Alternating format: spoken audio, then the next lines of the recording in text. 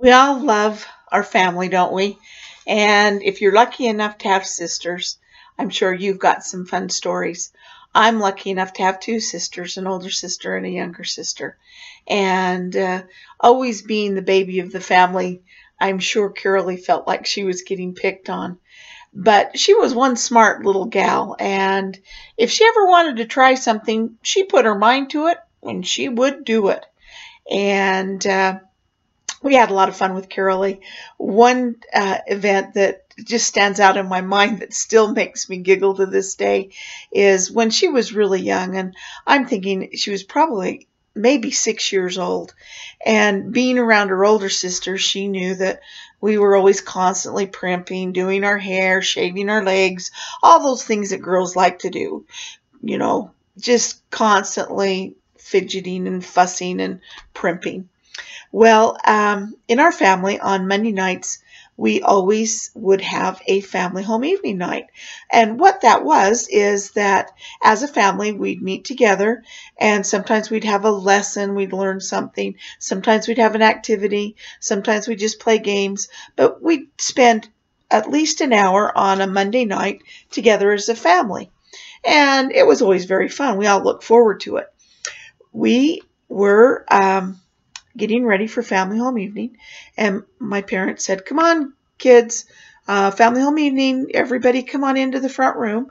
Well, Mary, my older sister, uh, she came in, I came in, and we were sitting there, and Carol Carolee had been in the bathroom.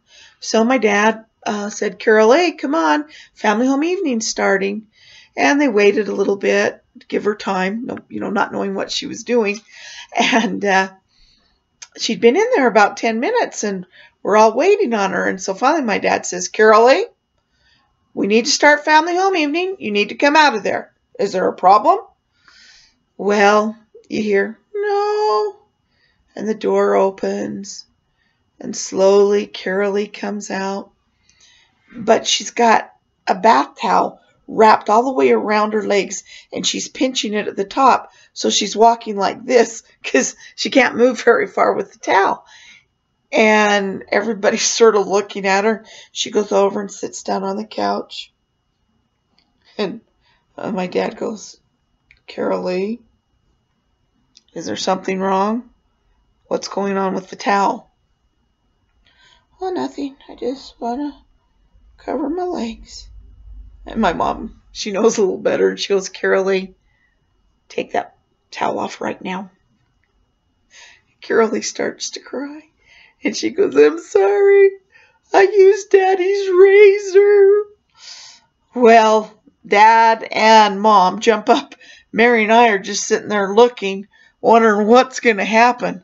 Well, off comes the towel, and we can see on the entire front center of both of her legs.